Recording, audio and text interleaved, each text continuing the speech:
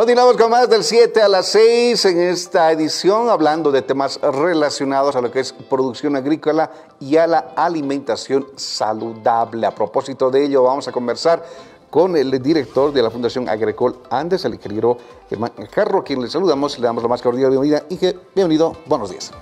Un gusto a usted y a todos los televidentes y gustoso para poder compartir nuestra experiencia de trabajo. Ingeniero, come rico, come natural, come sin químico. Es un poco el lema de la campaña que han lanzado recientemente a propósito del trabajo que vienen realizando desde la Fundación. Sí, una de nuestras actividades que hemos empezado ya de, desde el pasado mes es esta, con este eslogan en donde queremos sensibilizar, queremos um, informar y queremos de que la población cochabambina, principalmente del eje metropolitano, genere mayor conciencia, mayor oh, compromiso hacia una alimentación más saludable. Sabemos muy bien de que la alimentación eh, chatarra, digamos, entre comillas, nos ha hecho mucho daño y eso es una evidencia con esta crisis sanitaria en la cual estamos atravesando todavía que es importante valorar, es importante recuperar nuestras comidas eh, nativas, nuestra alimentación más orgánica, más eh, producido con, sin elementos como los agroquímicos que hacen daño en la salud, porque todo lo, lo, agroquímico siempre se queda en el suelo y como residuos también en el producto. Entonces, eh, al margen de dañar a la salud humana, está también dañando al medio ambiente, al suelo. Entonces, creo que mm, es hora, es eh, oportuno llamar a la reflexión, a la sensibilización de la población citadina a generar esta conciencia para hacer una, para que nuestra dieta sea más saludable y más nutricional. Y como bien conversábamos brevemente, ingeniero, al parecer, eh, si algo positivo nos está trayendo este tema de la crisis sanitaria, es justamente esto, de que pronto se está creando mayor conciencia en la población de la importancia de alimentarse bien. Y en nuestro país tenemos la bendición de Dios de poder tener precisamente a la mano, al alcance, una gran variedad de productos eh, naturales y a precios súper accesibles además. Sí, eh, nosotros como Fundación Agricolandes eh, venimos desarrollando acciones concretas en la promoción de circuitos cortos de comercialización a través de ferias, a través de mm, una movilización eh, de entrega a domicilio a través de la Bolsa Saludable. Tenemos todos los viernes, donde en el eje, acá en el cercado estamos entregando alimentos en domicilio, producidos desde las zonas urbanas, periurbanas de, de nuestra ciudad. Y también eh, como Agricolandes estamos generando procesos de investigación. ¿Cuál es el, ¿Por qué el, digamos, la, la no recepción hacia un consumo saludable? Entonces ahí hemos arrancado con esta campaña para sensibilizar a la población y a través de las ferias hemos hecho ciertos protocolos de investigación y ahora con esta campaña queremos ampliar de que toda la población eh, cochabambina conozca, se informe, se sensibilice, hacia una alimentación más saludable. Creo que eso es muy fundamental tomando en cuenta de que eh, en muchos casos este tema nos hemos descuidado, creo que nos hemos ido mucho al consumismo y eh, vemos hoy eh, bastante deterioro del medio ambiente, contaminación de los ríos, del suelo, del, ¿no? Entonces creo que ahí Agricolandes desde hace 20 años atrás viene promoviendo este enfoque de la agricultura ecológica, el desarrollo de la agroecología, la gestión integral de recursos hídricos, la comercialización de productos.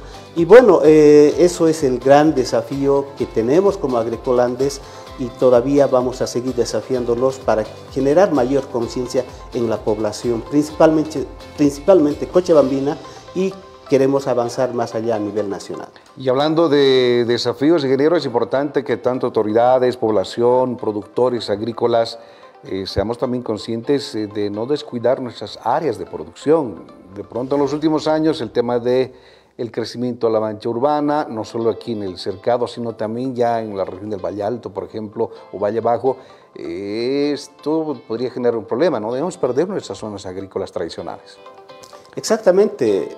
es inevitable el, crecimiento poblacional, pero también es importante hacer una buena planificación, principalmente acá en el eje metropolitano, porque cada vez estamos impermeabilizando el suelo. Entonces, al hacer esta acción, eh, todas las aguas que vienen de fruto de las lluvias se va escurriendo y se va yendo. O sea, incluso nuestra capa freática está disminuyendo y más adelante estos pozos en la zona sur, toda esa eh, donde sacamos el agua van a también disminuir. Entonces creo que es importante llamar a la reflexión de nuestras autoridades que toman decisiones en políticas públicas, tomar eh, en cuenta este, este tema, ¿no? porque sabemos muy bien de que Cochabamba eh, ha sido denominado siempre el granero de Bolivia, la producción diversificada en los diferentes pisos que tiene y, y el clima benigno de Cochabamba ha tenido ese don de, ser productor agrícola, pero últimamente este, esta situación es que se está cambiando y es preocupante para nosotros porque no vamos a tener más adelante alimentos y más aún alimentos saludables. Y bueno, eh, este tema si no lo tomamos en cuenta, no lo vamos a asumir como una acción desde instancias de quienes toman las decisiones, realmente nuestra salud, nuestra alimentación será vulnerable. Por lo tanto, nosotros como agricolandes, siempre en nuestro rol y en nuestra función, estamos llamando a la sensibilización, a la, dar mayor información para consumir alimentos ecológicos, consumir alimentos sanos, porque todo eso nos está ayudando también a cuidar nuestros recursos naturales, la biodiversidad, las semillas nativas. Eso es muy importante porque Bolivia es uno de los 15 países más megadiversos del mundo, pero es, eso es que no, no solo es tener el título, sino hay que saberlo conservar, toda esa riqueza genética, la agrobiodiversidad. Muy bien, y en ese marco saludamos los esfuerzos que vienen realizando instituciones del gobierno como el INIAF o que nuestros hermanos productores directamente también les impulsen actividades feriales como observábamos hace unos minutos, estaban presentes acá en estudios también nuestros hermanos del mercado campesino que ofrecen fruta de primera mano del consumidor al productor o del productor al consumidor. Exactamente, entonces creo que estamos todos um, llamados a esta acción, productores, consumidores y las autoridades desde las instancias públicas y también instituciones de desarrollo para fomentar este, este cambio. Y bueno, eh, también quiero mencionar de que fruto de todo este trabajo que realiza Agricolandes, el pasado día lunes el Consejo Municipal nos ha hecho un reconocimiento, una distinción en el grado de la, de la señora Manuela Gandarillas eh, con el título Institucional Ciudadano Ecológico. Agradecemos a la, a la, instancia pública, al gobierno municipal por esta distinción, porque eso nos compromete más a seguir trabajando, a seguir desafiándonos en este en, este, en esta proyección que hace 20 años Agricolandes se ha instalado acá en Cochabamba. Muy bien, un reconocimiento muy bien merecido además. Ingeniero, felicidades a usted, a todo el equipo que lo acompaña y nosotros atentos siempre a poder demostrar y reflejar el trabajo que viene realizando.